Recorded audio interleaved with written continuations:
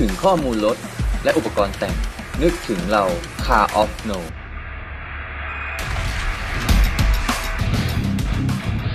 สวัสดีครับ พบกับ Car of Know กันอีกครั้ง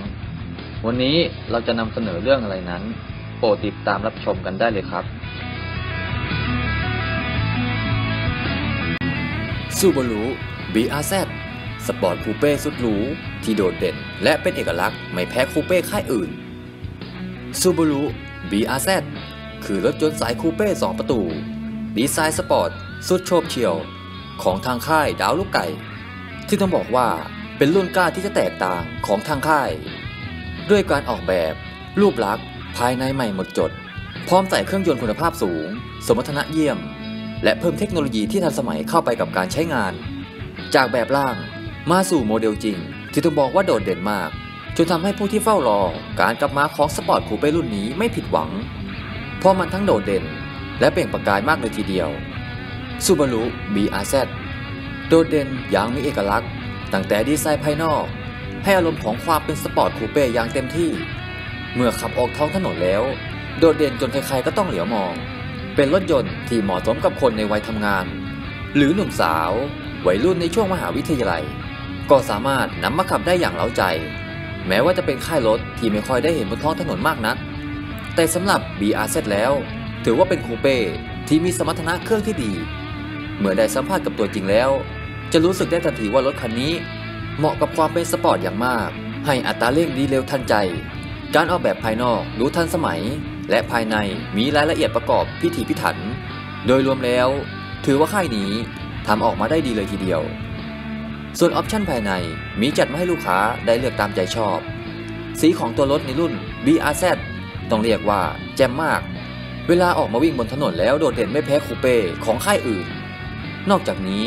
ยังมีการนำเทคโนโลยีรุ่นใหม่เข้ามาประสานกับการใช้ภายใน และมีระบบรักษาปลอดภัยที่ดีเยี่ยมอีกด้วย ข้อเสียของ Subaru BRZ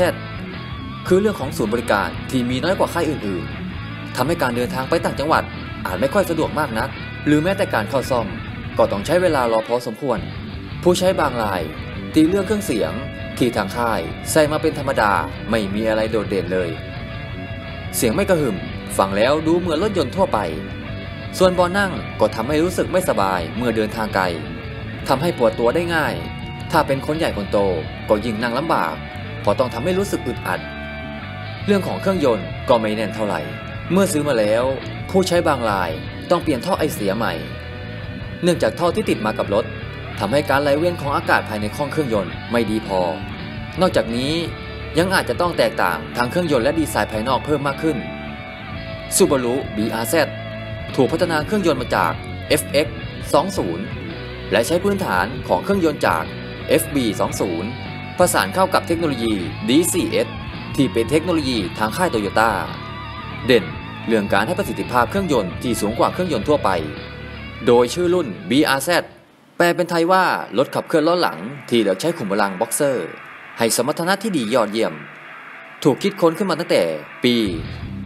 2555 เมื่อเข้าสู่ปี 2556 ทางซูบารุเปิดตัว BRZ TS ที่เป็นเวอร์ชั่นของประเทศญี่ปุ่น ตัวนี้มีความโดดเด่นเรื่องเครื่องยนต์ ที่ผู้ซื้อสามารถนำมาโมดิฟายได้เอง จึงกลายเป็นรถที่มีคนนิยมนำลงสนามแข่งมากที่สุด มาพร้อมรูปแบบการตกแต่งพิเศษจากซูบารุเวอร์ชัน TS ที่โดดเด่นในเรื่องของช่วงล่างใหม่ทั้งหมด เปลี่ยนเพลาให้เป็นรุ่นใหม่ พร้อมใส่ชุดเบรก Brembo ในรุ่น Body Kit ใส่ล้ออัลลอยขนาด 18 นิ้ว และเปลี่ยนการตกแต่งภายในหมด รุ่นนี้ถือว่าเป็นที่น่าสนใจของตลาดอย่างมากจนกระทั่งมาถึงปี 2018 Subaru BRZ ก็ถูกพัฒนาสู่การเป็นคูเป้สปอร์ตดีไซน์หรู และเครื่องยนต์ที่มีสมรรถนะที่เลิศมากกว่าเดิม พร้อมเข้าตีตลาด รถยนต์สายคูเป้2ประตูโดยเฉพาะอีกด้วย Subaru BRZ เลือกใช้เครื่องยนต์ Subaru Boxer แบบ DOHC ในขนาด 2.0 ลิตร ให้พละกำลังสูงสุด 200 แรงม้า ที่7,000รอบต่อนาที เครื่องยนต์แน่น มีรอบจัด และแรงบิดที่สม่ำเสมอกัน 205 นิวตันเมตร ที่ 6,400 ถึง 6,600 รอบต่อนาที ประสานการทำงานเกียร์ 2 รูปแบบ คือเกียร์ธรรมดา 6 สปีด หรือเกียร์ออโต้ 6 สปีด ให้อัตราการเผาผลาญน้ำมันเชื้อเพลิงที่ 7.8 ลิตร ต่อ 100 กิโลเมตร ในการใช้เกียร์ธรรมดา และ 7.1 ลิตร ต่อ 100 กิโลเมตร ในการใช้เกียร์อัตโนมัติปล่อยค่า CO2 เพียง 181 กิโลกรัมต่อกิโลเมตร